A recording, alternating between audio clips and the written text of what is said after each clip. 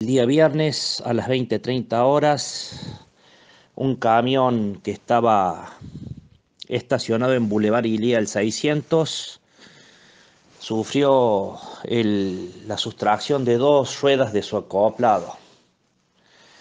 Eh, en este hecho se, están investigando, se están por practicar algunos allanamientos para ver si logramos el recupero de, de esta rueda.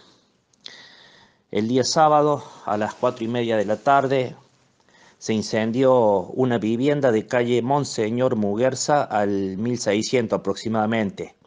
En esta casa vive una familia que tiene cuatro hijos.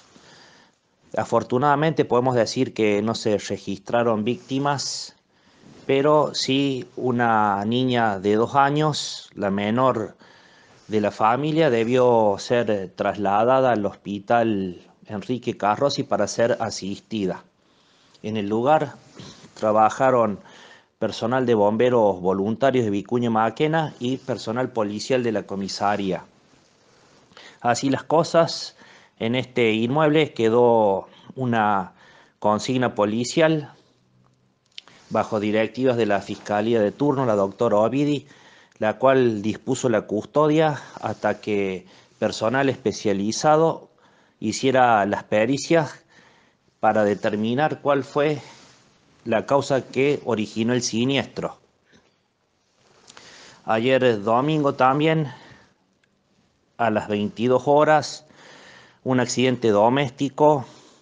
Se trata de un señor de 50 años de edad que se golpeó al caer al suelo.